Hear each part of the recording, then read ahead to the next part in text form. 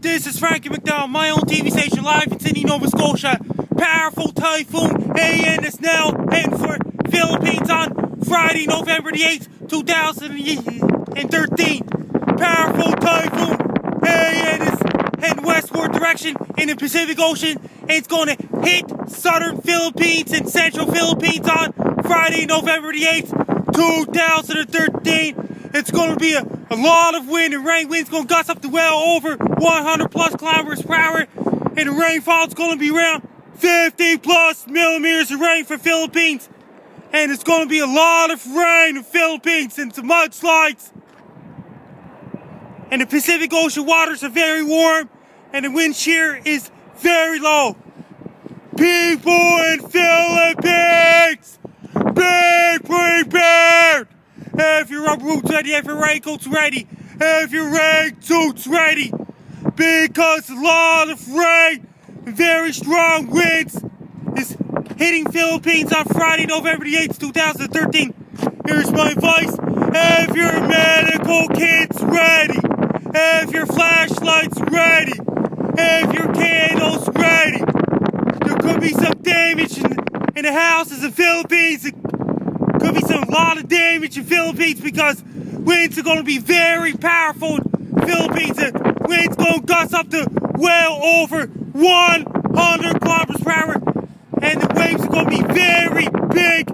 Surfs are going to be very rough at the beaches in Philippines and the shores as well. If anybody living in southern and central Philippines, stay away from the beaches and don't go near the shore because it's going to be a lot of rain and wind. And trees will be knocked down. There could be some damages in the houses in the Philippines as well. There could be quite a bit of damage. And water could be up to your waist in Philippines as well. There could be some major flood going on in Philippines on Friday, November the 8th, 2013. Going to be a lot of rain and very strong winds from the, the powerful typhoon Haiyan to hit Philippines on Friday, November the 8th, 2013. Mudslides will happen. Don't go near the mountains because the mudslides will happen in Philippines as well. There could be some major flood in the Philippines. Could be up to your waist. And the flood waters will be up to your waist in the Philippines as well. Have your boats ready. Have your medical kits ready.